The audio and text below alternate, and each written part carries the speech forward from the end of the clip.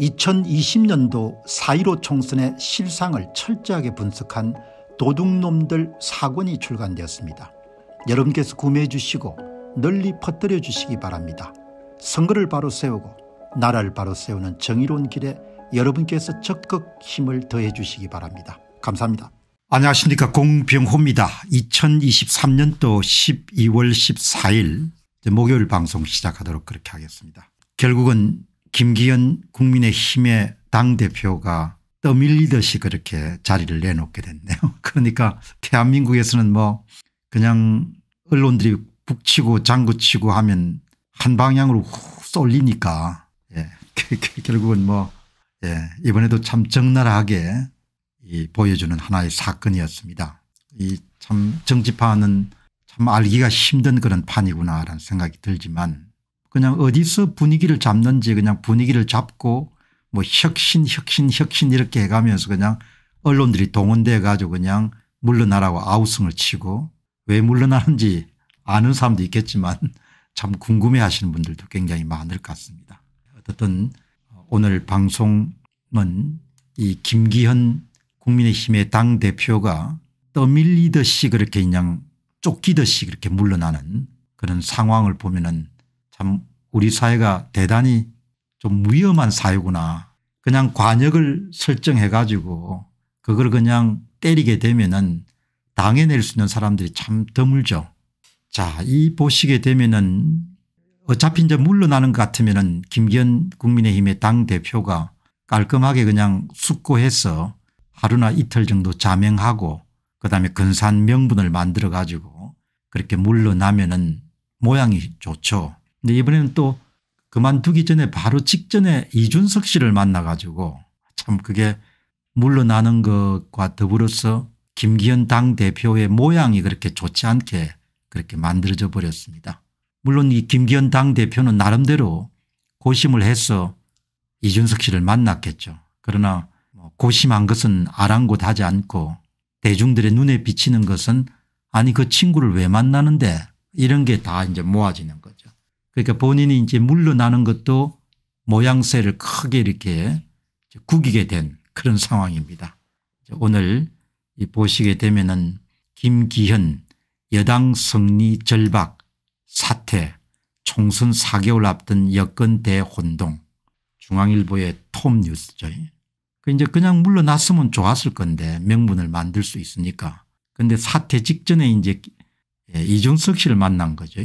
그 이준석 씨는 여러분들 그렇게 만남에 관한 한 그렇게 질이 좋지 않지 않습니까 동료 의원들이나 동료들하고 이런 대화를 하면 항상 버튼을 눌러 가지고 예, 녹음을 하고 필요한 경우는 녹음을 또 까는 예, 그래서 사람들이 참 야 어떻게 아무리 정치판이지만 저렇게 할 수 있나 이렇게 해서 평판이 좋지가 않죠. 김기현 당대표가 이렇게 그만두기 전에 이준석 씨를 만나게 되면 은 두 사람 사이에 무슨 이야기가 오고 간지는 보통 사람들은 알 수가 없는 것이고 그냥 이준석 씨가 언론에 부는 것 자체가 그냥 사실이 되지 않습니까? 그래서 아무리 이해를 하려고 하더라도 김기현 그런 국민의힘의 당대표가 뭐 의원 기수로 보나 그다음에 또 울산광역시장도 지냈고 했기 때문에 연배로 보나 하면 좀 노회한 그런 정치인의 반열에 드는데 그 어떻게 여러분들 이준석 씨하고 만남이 밝혀지지 않겠습니까 이준석 씨가 또 먼저 입을 열었지 않습니까 뭐 이런 것이 헤드라인에 떠오를 정도니까 두 사람 사이에 무슨 이야기를 했는지는 그렇게 중요하지 않다는 거죠. 그냥 이준석이가 떠드는 것 자체가 김기현 씨가 말한 거 사실이 돼버리니까 그러니까 사람들이 참 이번에 김기현 씨에 대해서도 실망을 참 많이 했을 것 같아요. 아니 저런 사람이 국민의힘의 당대표로 지냈으니까 참 이해하기가 힘들다는 거죠. 서울 모처에서 비공개로 만나 서로의 거치에 관해 논의했다. 이준석은 회동이 끝난 지 약 3시간 만에 생방송 유튜브 방송에 출연 회동에서 오간 대화 내용 일부를 공개했다. 두 사람 사이에 비공개로 했으면 그냥 입을 다물어야지 그걸 또 부들지 않습니까 이준석이 너희 그렇게 한다는 것은 만인이 다 아는 건데 김기현 씨가 어떻게 그런 사람을 마지막에 만나 가지고 자기 용태와 관련한 그런 모양새를 그냥 구길 수가 있냐 이야기죠. 이해를 하려고 하도 세상 참 헛살았다 이런 생각이 드는 겁니다.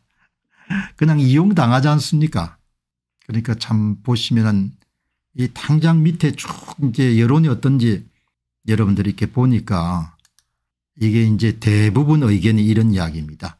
김기현 당대표가 뭘 하려고 준석이를 만났나 저런 친구는 상대하지 말았어야 되는데 김기현 당대표가 잘해보려고 했을 것인데 그런데 이준석을 만난 건 정말 잘못한 행동이다.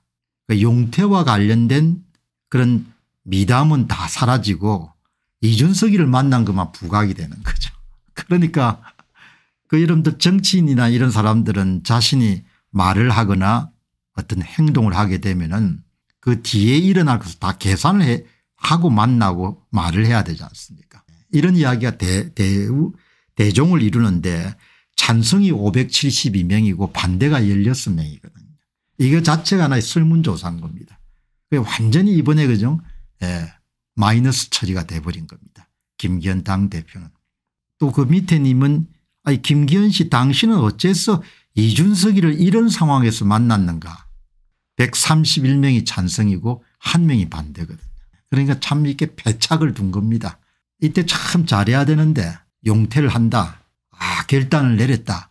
이렇게 해서 포장을 좀 근사해 가지고 이렇게 여러분들 뭐죠 발을 빼야 되는 거죠. 에이 참 보면은 아니 나이가 좀 있는 사람들 왜 이렇게 여러분들 뭐 공직 생활을 한 해 두 해 해보는 것도 아니고 요직은 상당히 뭐 원내대표 당대표 울산광역시장 아마 김기현 씨가 4선 정도 될 겁니다. 다선 의원 다 이렇게 했는데 아 이준석이 그 전공 과목이 그거지 않습니까? 다른 사람하고 대화하면 그거 다 녹음해놨다 다음에 필요할 때 까는 거. 이렇게 여러분들 순진하니까 정치판에서 어떻게 여러분들 국민의 힘이 번번이 안 당하겠습니까? 그래서 이제 제가 궁금해 가지고 제 생각은 이런데 사람들은 어떻게 생각하는지 궁금해서 여러분들 설문조사를 해보니까 김기현 대표 사퇴 직전에 이준석을 만나서 현안을 논의했는데 이준석이 이것을 공개했습니다.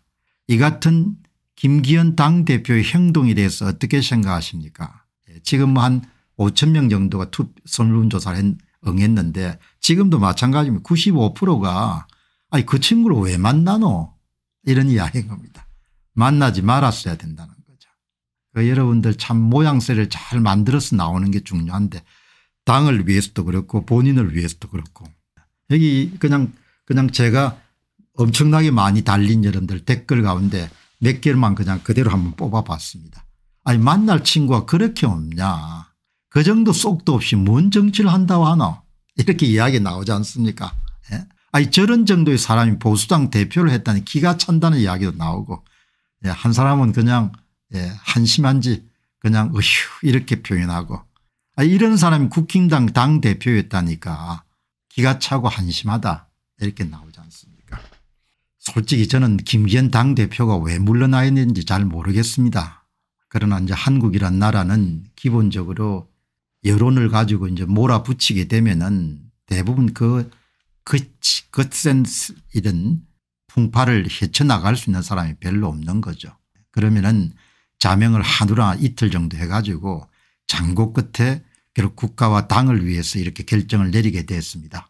뭐 이렇게 해서 이렇게 모양새를 딱그 만든 다음에 나와 나오고 나온 다음에 이런 이준석을 만나면 뭐 그거야 크게 문제가 없지 않습니까 예, 이렇게 여러분들 참 오늘 파사디님은 김기현 씨가 성숙하지 못한 정치인 듯 합니다. 보통 시민들도 그렇게 생각하잖아요. 본인 정치 일생 저 일생에서 아주 제가 볼 때는 오점을 남긴 하나의 사건이다 이렇게 볼 수가 있습니다. 여러분과 저도 뭐 이런 사람들처럼 큰 공직은 맞지 않지만 결정적인 그런 시기가 오지 않습니까 그냥 뭐 본인의 진심과 관계없이 온 세상의 사람들이 달라 들어가지고 뭐죠 그냥 두 두들겨 펴는 그런 상황이 나오면은 참 태각 전략을 잘 세워야 되는데 김기현 씨가 조금 실수를 한 것 같다.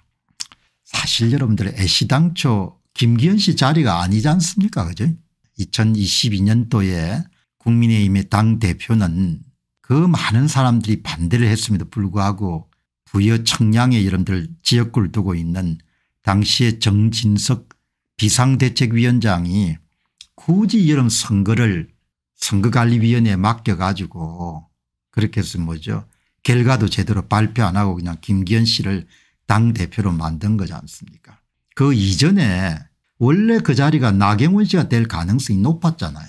그거를 뭐 윤시민이 뭐 이렇게 해가지고 몰아붙여 가지고 나경원 씨를 그냥 뭐죠. 예, 결박하듯이 꿇어 앉혀 가지고 무리하게 김기현 당대표를 옹립을 한 거 아닙니까 선거 자체도 문제였고 후보자를 꿇어 앉히는 자체도 문제였지 않습니까 그 세상사가 다 무리하게 되면은 이런 문제점이 발생을 하는 거거든요. 그냥 물 흐르듯이 그냥 그렇게 흘러갔으면은 나경원 체제 같으면 이렇게 혼란스러움이 없었을 거라고. 내가 그때도 말이죠. 그 여러분들 권리당원 국민의힘의 권리당원 가운데 아주 나이가 드신 분들이 단식도 하고 야단을 쳤지 않습니까 선관위에 맡겨서 안 된다고. 그래도 굳이 여러분 그거를 선거관리위원회에 정진석 씨가 맡겨가지고 이렇게 무리수를 윤심이 어떻니 뭐 이렇게 해가지고 여러분들 결국은 억지로 만든 거 아닙니까 김기현 당대표를. 물론 김기현 씨가 국민의힘의 당대표가 될 자격이 없다는 건 아니에요. 그러나 공정한 선거를 통해 가지고 했으면 나경원 씨가 당대표를 맡았겠죠. 그거를 그냥 꿇어 앉히고 그 모든 사람들이 말은 잘 안 하지만 다 그 상황을 지 사람들이 바보 천치가 아니니까 다 지켜봤잖아요. 다 지켜봤는데 그렇게 이제 무리수를 둬 가지고 결국은 이제 여기까지 온 겁니다. 뭐 제가 말씀드린 이런 내용이 너무나 원론적인 이야기일 수도 있겠지만 세상을 개인적으로도 그렇고 어떤 공인으로 살아갈 때도 정도를 걸어야 된 정도를 바른 길 올바른 길 김기현 씨가 당대표가 되는 과정에서 너무나 올바르지 않은 길을 김기현 씨도 선택했고 윤 대통령도 선택했고 국민의 힘도 선택한 거 아닙니까 그 이제 이게 파국이 발생한 건 거죠. 아까운 겁니다. 이 김기현 당대표가 이렇게 물러나서는 안 되는 건데 좀 모양새를 갖출어야 되는 건데 어떻든 간에 참 문제가 크네요. 여러분들께 정말 훌륭한 책을 한 권 소개해 드리도록 하겠습니다. 김동주 박사님 역사학과 신학에 대한 상당한 조예를 가지신 분이 26년 동안의 연구를 총집결한 책이 바로 기독교로 보는 세계 역사란 책입니다. 우리나라에서도 역사 뒤집기를 위해서 좌우 진영이 굉장히 격렬하게 싸우지 않습니까? 그만큼 이제 역사를 어떻게 해석하느냐, 바라보느냐가 굉장히 중요하죠. 세계사란 큰 관점 속에서 좌우에 치우치지 않고 반듯한 그런 역사적 관점을 가질 수 있지 않겠냐 그렇게 생각합니다. 기독교로 바라보는 세계사 이 책이 한국사뿐만 아니고 세계사를 반듯하게 올바르게 바라보는데 여러분들이 큰 지침이 될 것입니다.